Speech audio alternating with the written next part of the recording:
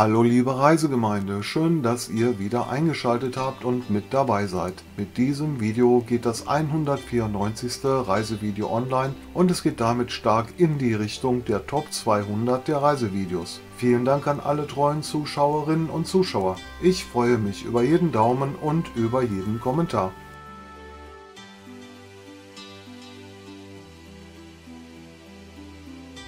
Doch nun zum eigentlichen Ausflug nach Nideggen. Das mittelalterliche Nideggen liegt auf einer Bergkuppe unmittelbar oberhalb des mittleren Ruhrtals am Rande des Nationalparks Eifel. Seit dem Mittelalter kann die Stadt auf eine lange und abwechslungsreiche Geschichte zurückblicken. Der Ort wurde erstmals im Jahr 1184 erwähnt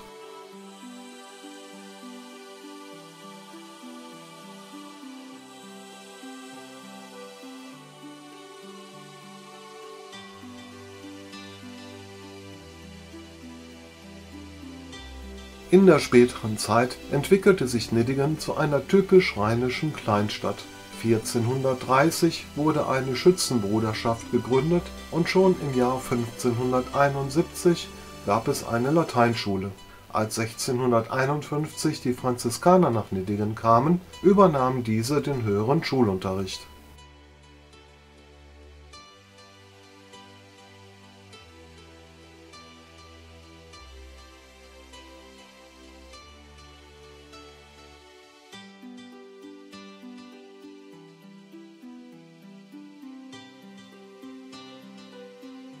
Die romantische Niddegener Altstadt besteht auch heute noch aus sehenswerten Fachwerk und Buntsandsteinhäusern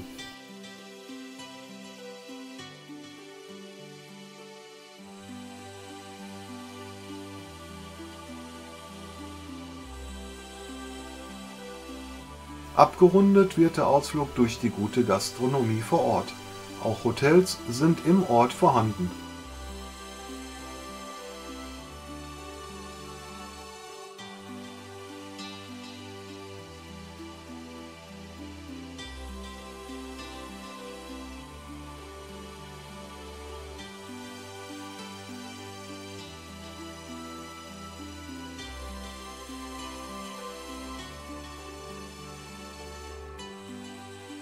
In der Zeit von 1177 bis 1191 wurde die Burg Nideggen errichtet. Weithin sichtbar ist die Burg auf dem gewaltigen Felsmassiv.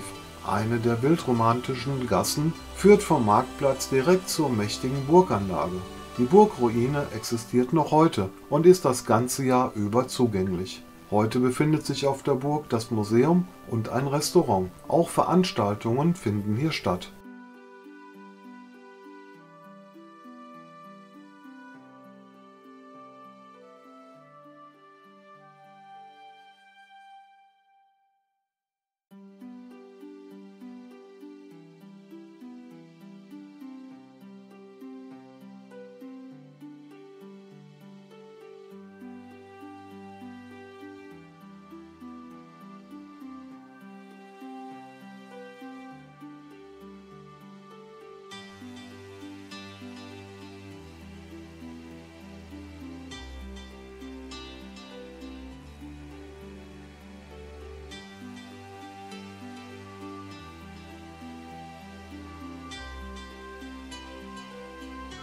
Etwa 1313 entstand die Stadtbefestigung mit vier Toren. Nachdem bereits im 13. Jahrhundert die Verbindung zwischen Burg und Stadt ummauert worden war. Auch die historischen Stadttore aus Buntsandstein können heute noch bewundert werden